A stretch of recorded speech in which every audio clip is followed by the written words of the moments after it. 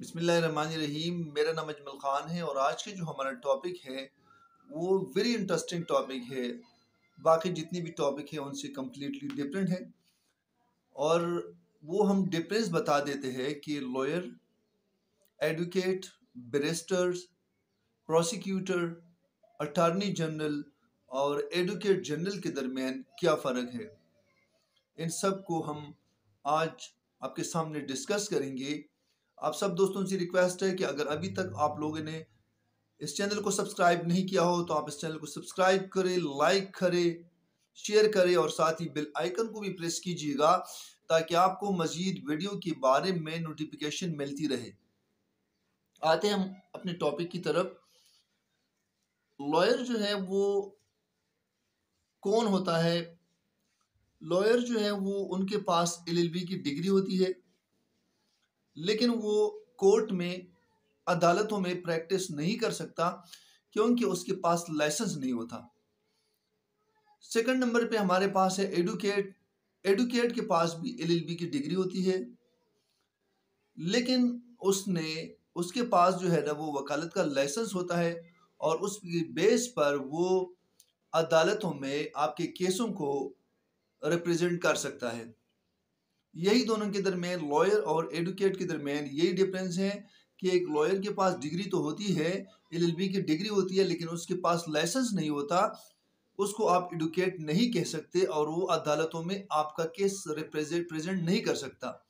لیکن ایڈوکیٹ کے پاس جو ہے وہ ان کے پاس ڈگری ہوتی ہے اور ان کے ساتھ ساتھ ایل ایل بی کی ڈگری ہوتی ہے اور ساتھ ہی وہ وہ لائسنس یافتہ ہوتا ہے، وہ وہ لائسنس حاصل کر لیتا ہے۔ اسی وجہ سے وہ وہ عدالتوں میں آپ کے کیس کو پریزنٹ کر سکتا ہے کلائنٹ کی بہاف پر کورٹ میں پیش ہو سکتا ہے۔ اس کے علاوہ بیرسٹر جو ہے بیرسٹر جس نے اپنی ایل ایل بی کی ڈگری جو ہے، وہ انگلینڈ سے حاصل کی ہو، تو وہ بیرسٹر کہلاتا ہے۔ پروسیکیوٹر جو ہے، وہ اس کو سرکاری وکیل بھی کہا جاتا ہے۔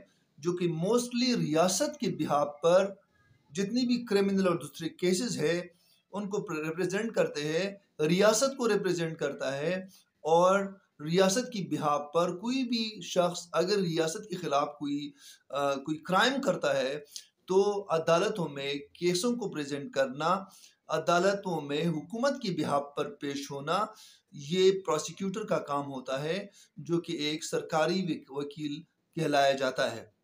اس کے علاوہ ہم آتے ہیں اٹارنی جنرل کی طرف۔ اٹارنی جنرل جو ہے وہ کنسٹیٹیوشن کے آرٹیکل ہنڈریڈ کے تحت اس کو اپوائنٹ کی اپوائنٹ کیا جاتا ہے۔ ان کی اپوائنٹ کا اختیار جو ہے اپوائنٹمنٹ کا اختیار ان کا وہ صدر پاکستان کے پاس ہوتا ہے اور وہ سینٹرل گورنمنٹس کے جتنی بھی لیگل افیئرز ہیں ان کو دیکھتا ہے اور مرکزی حکومت کی بحاب پر مختلف عدالتوں میں وہ پیش بھی ہوتا ہے، ان کے کیسوں کی پروسیڈ کرتا ہے۔ عدالتوں مختلف پیڈل گورنمنٹس کو جو ہے نا مشاورت بھی مختلف لیگلز میٹر میں دے دیتا ہے۔ تو یہ ہوتا ہے اٹارنی جنرل اور اس کو اپوائنٹمنٹ کا اختیار جو ہے وہ صدر پاکستان کے پاس ہوتا ہے۔ اس کے علاوہ ایڈوکیٹ جنرل جو ہے کی طرف ہم آتے ہیں کہ ایڈوکیٹ جنرل کون ہوتا ہے؟ ایڈوکیٹ جنرل کی اپوائنٹمنٹ کا جو پروسیجرز ہے، اس کو اپوائنٹ کرتا ہے، وہ گورنر ایک پروونس کا گورنر جو ہے، وہ ایڈوکیٹ جنرل کو اپوائنٹ کرتا ہے۔ اور ایڈوکیٹ جنرل جو ہے، وہ صوبائی حکومت کو لیگل افیئرز میں مشاورت بھی دیتا ہے۔ صوبائی حکومت کی بحاب پر جو ہے، وہ فیش بھی ہوتا ہے مختلف عدالتوں میں۔ اور ان کا اپوائنٹمنٹ جو ہے، وہ کنسٹیٹیوشن کے آرٹیکل ایک سو ون ہنڈریڈ فورٹی کے تحت ان کا اپوائنٹمنٹ ہوتا ہے کنسٹیٹیوشن کے آرٹیکل ایک سو چالیس کے تحت، جس کے اپوائنٹمنٹ کا اختیار جو ہے وہ گورنر کے پاس ہوتا ہے۔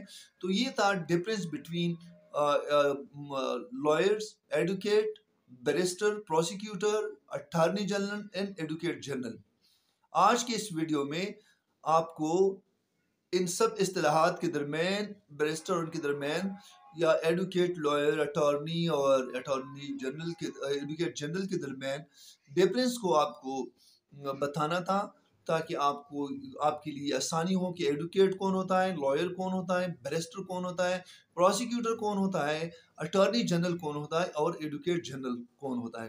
امید کرتا ہوں کہ آج کے اس ویڈیو سے آپ کو کافی انفارمیشن ملی ہوگی مزید اس طرح کی ویڈیو دیکھنے کے لیے آپ ہمارے اس چینل کو وزٹ کیا کریں. ضرور اس چینل کا وزٹ کریں. Thank you so much Pakistan زندہ باد.